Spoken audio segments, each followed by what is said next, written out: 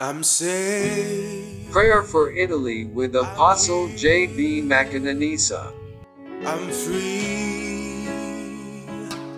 I'm People of Europe, wherever you are, I'm with my son. We are stretching our hands to you. If you are sick, be healed right now. In the name of Jesus, wherever you are, we know there are many people who cannot come here. But if you are watching, wherever you are, receive healing in the name of Jesus. Any sickness in your body, as we are stretching hands with my son here, can you receive now? Can you receive healing? Those who cannot walk, rise up and walk in the name of Jesus. I speak connection also to those who are trying to do business, who are trying to do anything they are trying to do in life. I say connection in your life in the name of Jesus.